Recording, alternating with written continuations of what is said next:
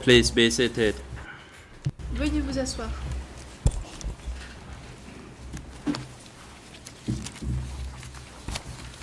On President, the court is now back in session. Reprise de l'audience.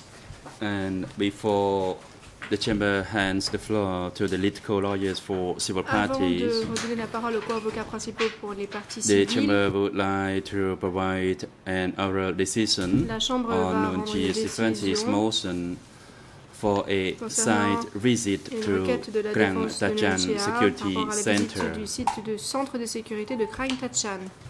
On 5th March 2015, the Le Nunchi 5 mars defense 2015, la requested défense de that the Nunchia judges and parties a demandé à ce que make les a juges et site les visit to the parties location of the rendent former Krang à Tachan l'endroit où était Security situé l'ancien Center.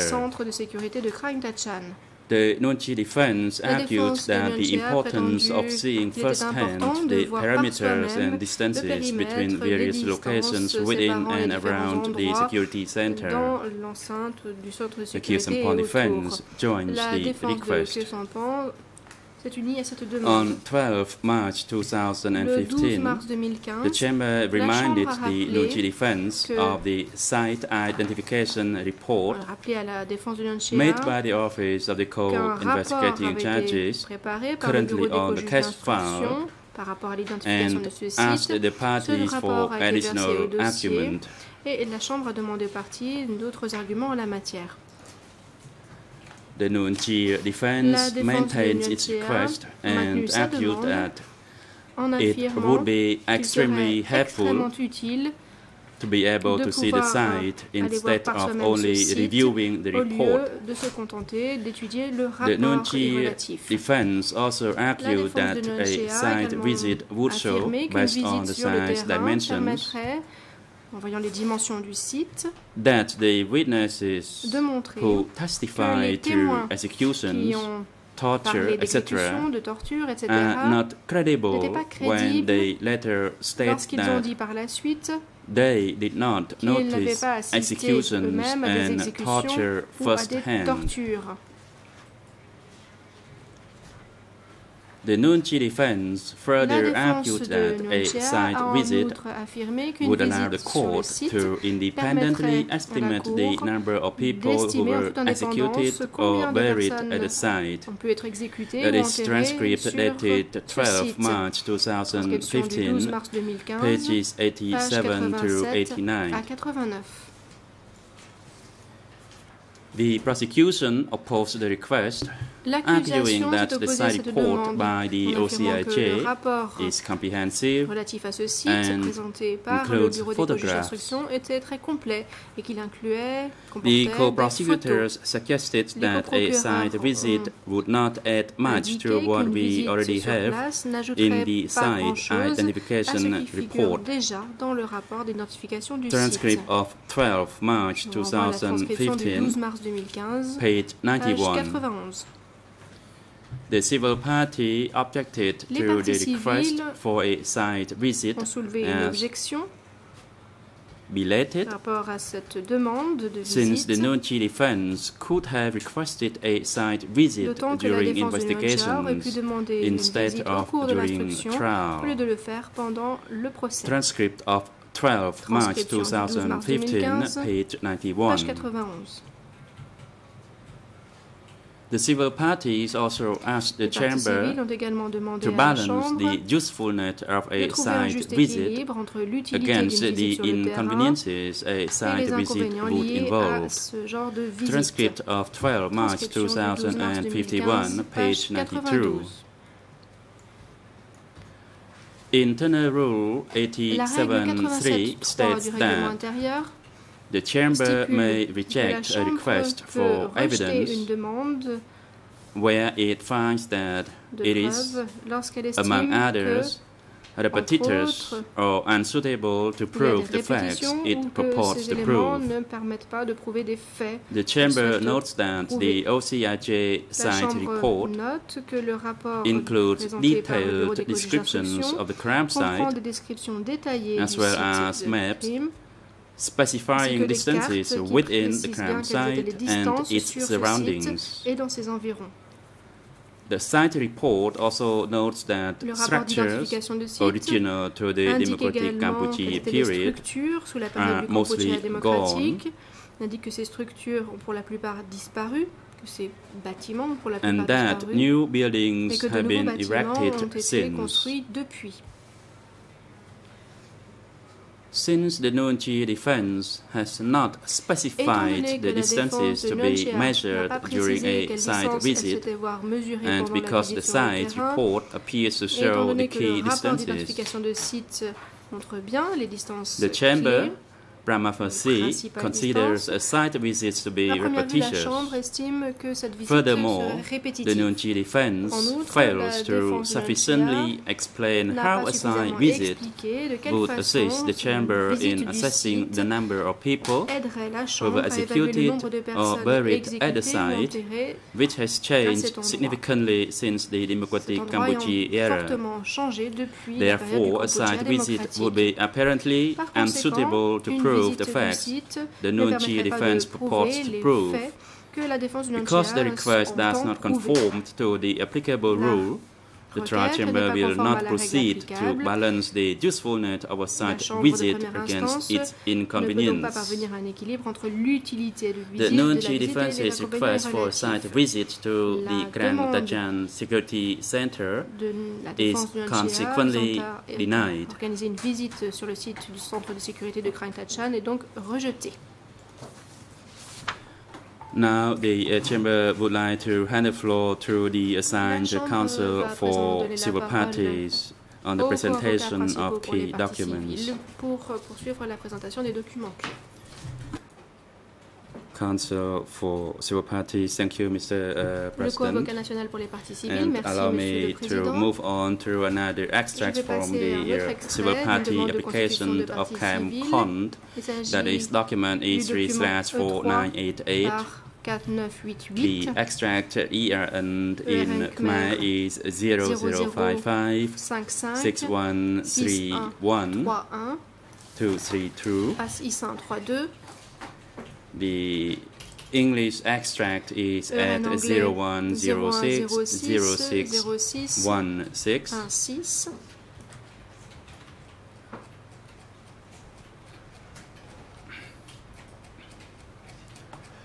The applicant states that on 17 April Il est dit dans cet extrait que le 1975, 17 avril 1975, I lived in Trapang Dong Tuk village, j'habitais dans le Bai village de Trapang commune, Dongtuk, Tram commune Kok de district, Pobek, district de Takeo Tram Kok, province. province de Takeo.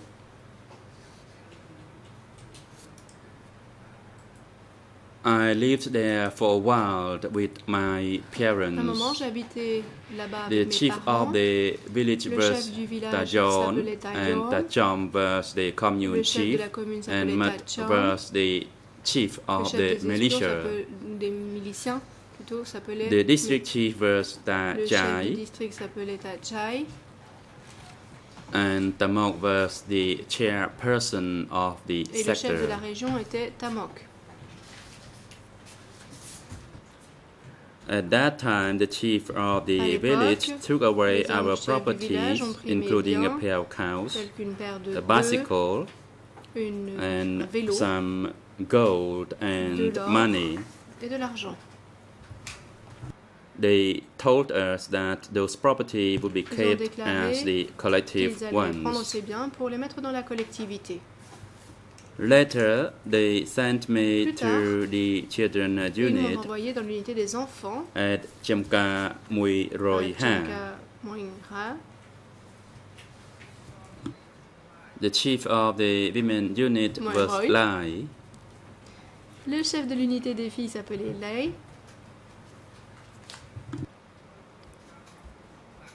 We were forced to overwork days and Et ils nous ont demandé de nights. travailler au-dessus de nos capacités, jour We et were nuit, not given any break time. sans avoir le temps de nous reposer. There was not enough food. And I pouvoir was manger extremely skinny. Nous avons beaucoup maigri.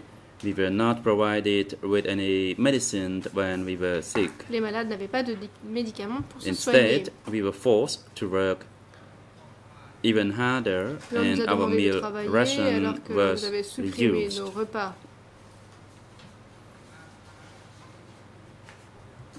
When we were sick, we would be given less food, and the Lorsque nous Khmer étions rules accused malades, us of nous- pretending to nous be mangions sick. moins, car les Khmer For Rouges nous example, accusaient de faire semblant my d'être brother malades. picked a head of sweet exemple, potato mon to eat frère and was avait seriously beaten ramassé by the des chief of Jud. manioc pour unit manger. Il a named été passé à Lim. Qui s'appelait Lim.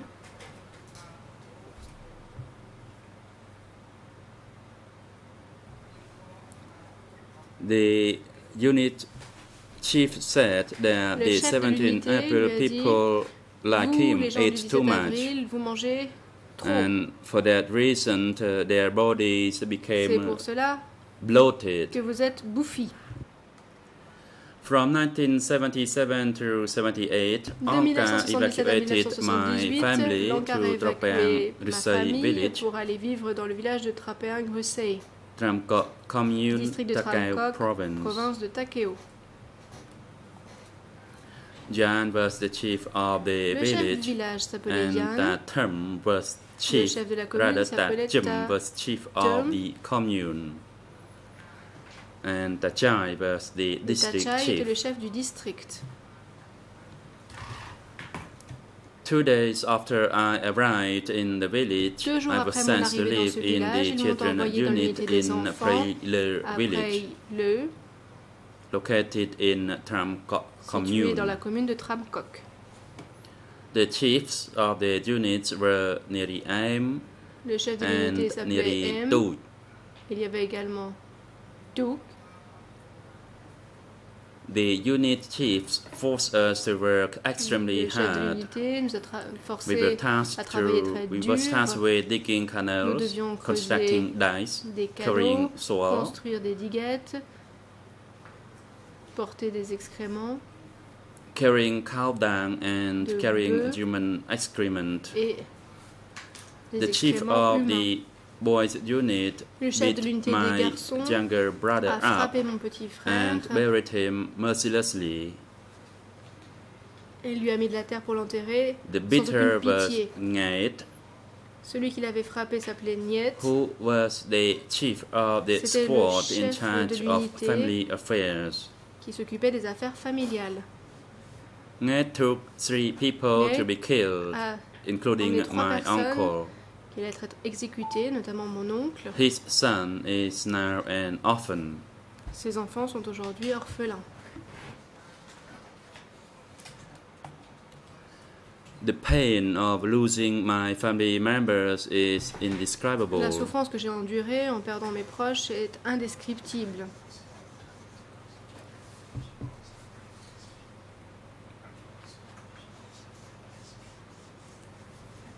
And I will not read the part for the uh, collect- request for the collective Je reparation. vais maintenant lire And la with partie qui uh, concerne your la- permission, la Mr. demande de President, I'd réparation like to cede the collective. floor Si to vous my m'autorisez, Monsieur le Président, international j'aimerais donner la colleague, parole à ma- President euh, Yes, mon uh, you can confrère do so, international, and le the Président, je vous en internationally prie. co-lawyers, you have the La floor.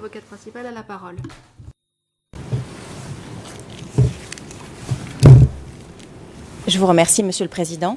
Thank you very much, Mr. President. Uh, Je vais lire donc deux extraits de constitution de partie civile et ensuite un extrait de um, procès-verbal d'audition de témoins. Je vais commencer par le document E3/6222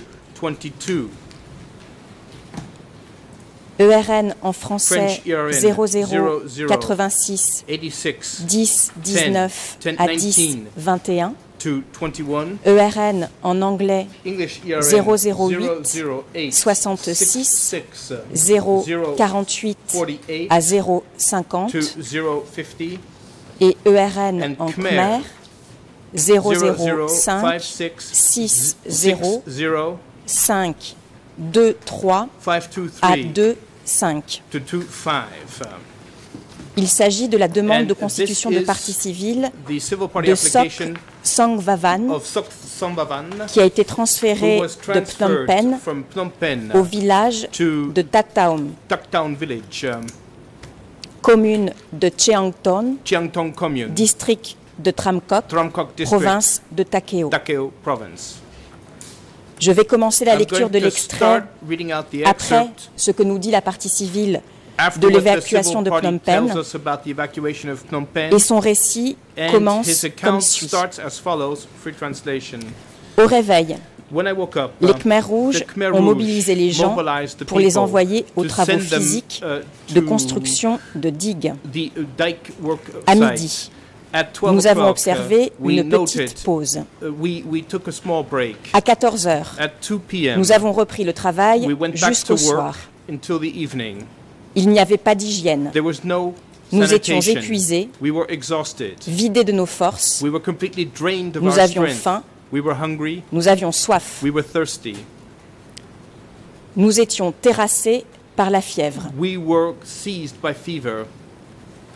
Le chef d'unité And the Yei unit Mik head, Yei Mik, a ordonné aux gens de travailler même dans un état de maladie. Elle insultait les gens comme s'ils étaient esclaves. as if they were slaves. Presque toutes les jeunes femmes de son unité ont été insultées de la sorte. insulted in that way.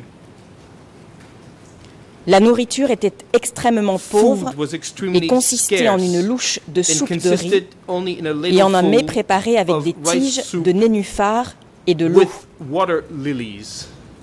Il n'y avait pas de médicaments. Les Khmers rouges donnaient des remèdes traditionnels aux gens malades. Les Khmers rouges ont inculqué aux gens qu'ils aiment l'encart et s'efforcent Ankar de travailler. and to endeavor to work. Quand quelqu'un tombait malade, ill, le passait à la rééducation en lui re-education disant de prendre son mal en patience et de ne pas to trop tomber malade trop souvent. overcome his pain and not to be ill too often. Une semaine plus tard, One week later, l'encart a convoqué les gens à une réunion commune to a common à Preitet, à proximité d'une pagode. J'ai été séparée de mes I parents was et de mon frère cadet. uh, Ils ont tous brother. été exécutés par les Khmers rouges. Les Khmers rouges m'ont surveillé très souvent parce qu'ils croyaient que j'étais affiliée à l'ennemi. uh, Mon père a été tué en My 1973 father was killed in au moment de la 1973 chute d'Angta L'alimentation consistait en une ration in insuffisante an de soupe de riz. Uh. Il était interdit de s'exprimer et d'écouter la radio. La vie était semblable à celle d'esclaves sans liberté. Les Khmers rouges ont forcé les gens à travailler sans aucun repos et les ont accusés d'être ennemis. Les gens devaient vivre comme des animaux sauvages, sans hygiène, sans any logement. sanitation and without any housing. et pour finir la lecture de cet extrait, To finish off with j'ai vu les Khmers rouges emmener et Khmer exécuter des gens en people away 1975, and execute people in 1976 1975, et 1976 and 1977. 1977.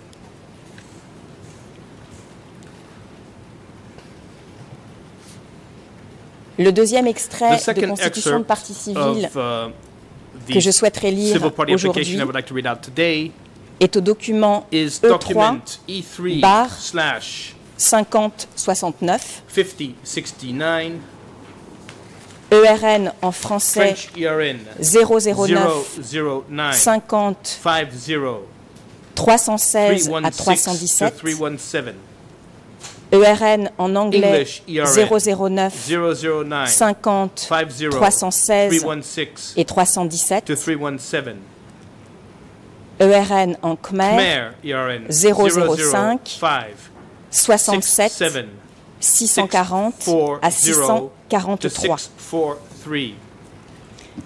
Il s'agit d'un extrait de la demande de constitution de partie civile de Mr. Mick Pon, Mick Pon. ce dernier étant Mick décédé. Pon died. Je vais commencer la lecture de cet start reading extrait out this excerpt par un passage qui concerne le district de Kirivong pour vous permettre de comprendre comment cette partie in civile est arrivée dans le district de Tramkok. in Tramkok district. Cette partie civile décrit says the following J'ai été déporté au I sud du pays. J'ai voulu rejoindre ma femme et mes enfants, mais c'était trop risqué. J'ai donc été séparé de ma famille. Je me suis retrouvé au village de Cave, commune de Prey Ampok, district de Kirivong, province de Takeo. Juste après mon arrivée, Right je travaillais dans le groupe 6 I was working in au village de 6 Cave. in Cav village. Je creusais des canaux, arrachais, repiquais les pousses de riz et labourais la terre. Je travaillais de plants 5 heures du matin jusqu'à uh, 11h30. and I would work from 5:30 in the morning to On mangeait 11:30. de la soupe de We riz, would eat rice soup, puis on reprenait le travail de work 12h from 12 jusqu'à 17h. To 5 p.m. J'y suis resté jusqu'en there until 1977. 1977. Et puis, And then on a enquêté sur mon passé, they started investigating car j'étais professeur de because I français. had been a French teacher. Le chef de village s'appelait Prakni. Je ne sais pas And s'il I voulait me don't know tuer, if he wanted to kill mais j'ai me, entendu dire qu'on classait des gens dans différentes catégories. organized into different Celle des categories. féodaux, the par exemple. category, for example. Les massacres se sont faits de façon très discrète. Massacres happened in a very Quand j'étais à Takeo, way. When I je was pensais beaucoup I à ma femme et à about mes my enfants wife and about my qui étaient à children who Kampantom. were in Kampong Tom. J'ai demandé plusieurs I fois l'autorisation d'aller les voir. mais on l'a to go refusé. see them, but that was denied to me. Je dormais en pleurant car je pensais à ma famille. Je voudrais préciser I'd un like to point. specify one thing here. Avant de m'envoyer à l'exécution, ils m'ont chargé de surveiller they un champ dans le village de Cav. Un soir, One evening, ils ont annoncé que tous les gardiens devaient rentrer au village, sauf moi. C'est à ce moment-là que j'ai réalisé qu'ils allaient me tuer parce qu'il y avait eu des mêmes cas par le passé. similar cases in the past. J'avais très I peur was very et j'ai afraid, essayé de faire de mon mieux pour sauver ma my vie. best to save my skin. J'ai emporté quelques aliments, I puis muni food d'une hache et d'une machette, je suis retourné au village dire au revoir to the à mes village frères to say et sœurs. goodbye to my brothers and sisters. Par chance, And I was lucky j'ai un neveu, qui m'a sauvé. who saved me il était chef He de was groupe sous le régime de Pol Pot. under the Pol Pot regime. Vers la fin de l'année the end of 1977, 1977, il y avait des drapeaux blancs hissés devant le village. Les Khmers rouges ont compris qu'il existait des mouvements de résistance et ils ont alors évacué les gens they du 17 evacuated avril the 17 April du village, people from the village de peur que, ce soit, que ceux-ci rejoignent les forces de libération. up with the liberation forces. Moi aussi, j'ai été évacué au village de Chankar Ang, commune de village, Kous, Kous commune, district de Tramkak, Tramkak district, province de Takeo. C'est ainsi que j'ai pu survivre jusqu'à aujourd'hui. Je voudrais maintenant Now parler de ma would like to famille. speak about my family. La plupart du temps, j'ai appris des choses grâce Most à ma belle-sœur learned things thanks Su to Hong my Ho, sister-in-law, ma nièce, Ul Chanta, thanks to my niece et mon neveu, Chanta, and thanks to my Ul nephew Sam. Je vivais dans la province de Takeo. in Takeo province. En In 1975, les Khmers 1975, rouges ont évacué ma femme et mes enfants au village de Prey Tatrav, commune de village, Kampong-Tom, Kampong Tom district de commune, district, province de Kampong-Tom. Kampong Tom province.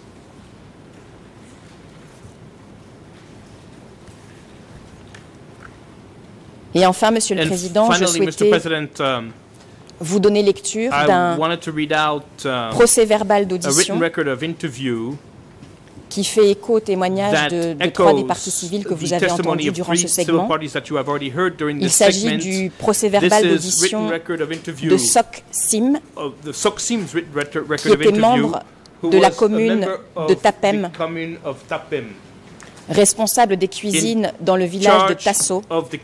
district de Tramkok. Et je vais donc faire une lecture du document E3 document E3 bar slash 55 19 5519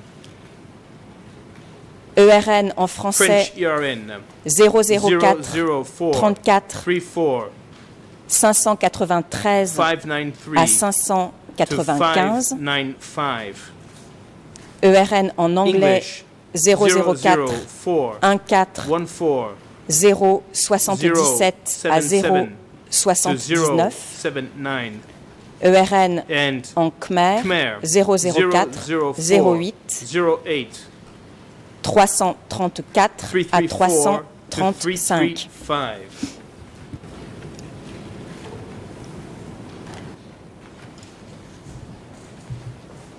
Question. Qui a imposé le plan de la récolte de Who 3 tonnes par hectare?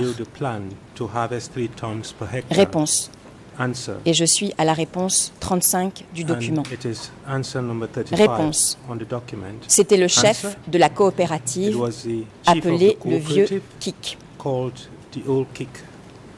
Est-ce que le vieux Kik avait des messagers? Question. Did the old kick have messengers? Réponse. Answer? Il y avait des messagers. Par contre, je ne sais pas du tout combien il y en avait en tout. C'était les messagers du vieux Kik qui allaient distribuer les lettres, mais je ne connaissais pas du tout le nom de tous ces messagers. Question. Durant les réunions, est-ce qu'on a parlé du système de distribution de la nourriture à la population? Réponse. On n'a pas parlé de ce problème. Question. Quelle était la personne qui prenait les décisions concernant la distribution des rations à la population dans les coopératives? Réponse. C'était le chef de la commune qui prenait ces décisions en question. Question. De quel échelon est venu le plan de la récolte des 3 tonnes par hectare? Si on n'arrivait pas à le réaliser, Qu'est-ce qu'il se passait Réponse. Le plan est venu de la hiérarchie. Au cas où on ne pouvait pas réaliser le plan, rien ne s'est passé en particulier. C'était juste que quand on ne pouvait pas réaliser le plan. On avait ordre de manger de la soupe de riz. Le paddy et le riz qui ont été récoltés ont été exportés. Les gens qui ont exporté le paddy et le riz sont venus de la hiérarchie. Question. Lorsque vous parlez de la hiérarchie, à quel échelon est-ce que vous faites allusion? Réponse. Je fais Answer. allusion à l'échelon du district, District ou celui de la province. Question. Question. Est-ce que les habitants ont eu suffisamment à manger? Réponse. for people to eat? Ce n'était pas suffisant. Answer. It was not enough. On n'a mangé que de la soupe de riz. People only ate Question. Quand il n'y avait pas suffisamment de riz, ainsi, Est-ce que les habitants sont tombés malades people, et sont morts de faim? Réponse. Il y a eu un grand nombre de gens qui sont tombés malades et qui sont morts de maladies. Certains, parmi ceux qui n'avaient pas assez à manger, sont allés chercher autre chose pour calmer leur faim. Ils ont par exemple creusé pour pouvoir arracher des patates. Question. Est-ce que, monsieur, vous connaissiez des gens qui sont morts de faim? Réponse. Oui, j'en Yes. connaissais. I do. Il y avait le vieux Bin, le vieux Béa, Max, la vieille Tabin, etc. Tamak, Question. so. Est-ce que monsieur, savez-vous si les malades Do ont été transportés à l'hôpital? Réponse. Oui, Answer? Yes. ils ont été transportés à l'hôpital qui est situé dans le monastère de. Champa. At Champa Pagoda. Question. Question. Est-ce que les malades de cet hôpital sont morts de Did façon massive? Réponse. Answer? Oui. Yes. Il y a eu un grand nombre de morts. Many people died. Dernière question, Last Monsieur le Président. question. Dans le laps de temps entre l'année 1975 From et l'année 1975 to 1979, 1979, est-ce qu'il y a eu suffisamment de médicaments Réponse. Answer. Dans le laps de temps entre l'année From 1970 1970 et l'année to 1975, 1975, il y avait des médicaments qu'on a appelés crottes de lapin. De l'année medicines. 1975 From à l'année 1975 to 1979, 1979, il y avait aussi des médicaments. Par contre, je ne sais pas si cela am suffisant ou pas. Il y avait également des soignants, cependant, ils n'avaient aucune but connaissance. they were not well qualified. Et j'en termine, Monsieur le Président, avec la lecture des like documents dont nous voulions, euh, euh, out sur lesquels nous souhaitions euh, insister. Je vous like remercie de- de votre attention et nous n'avons plus de documents.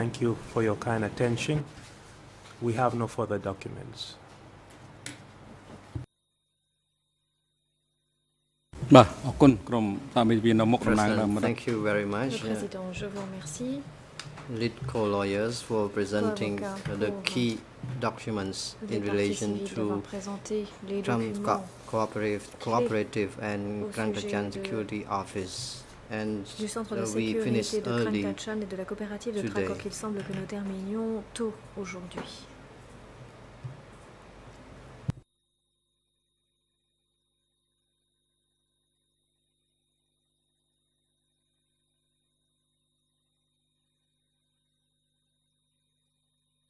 បាទហើយនៅសល់ពេលវេលាប្រហែលជា20 And ជាង uh, 20មិនិត we ដែរ still have ហើយម្លេះសំសួរទៅក្រុមវិទ្យា more ការពារ than 20 minutes Il nous reste for encore our plus de today 20 proceeding, minutes and pour uh, the chamber l'audience would like uh, d'aujourd'hui. to Ainsi, ask the la defense Chambre va counsel for demander the accused, à la do you wish to défense si- present the key documents now? Vous souhaitez présenter vos documents clés maintenant? Um, Mr. President, we're still Monsieur in the process of finalizing things, so we would really prefer to start tomorrow. Notre intervention, nous préférerions vraiment commencer demain. Uh, thank you very much. Président, je vous remercie. The co-prosecutor and lead co-lawyer finished uh, the presentation on a key document Principaux pour les early today, so the chamber la présentation de leur uh, wishes documents to end uh, the, the plus tôt today aujourd'hui. proceeding C'est pourquoi la now, Chambre and va uh, the lever hearing la tomorrow séance will maintenant. start at L'audience 9 demain a.m. commencera à 9h. Security personnel are Personnel de instructed to sécurité bring uh, Mr. Kyu Sumpon Veuillez and uh, ramener Nuon Jia Kyu back to Sampon the et Nuon detention Jia facility au and centre have, de have them détention. returned Veillez à ce qu'ils before soient 9 de a.m. retour tomorrow. The avant court is 9 now heures adjourned. demain. L'audience est levée.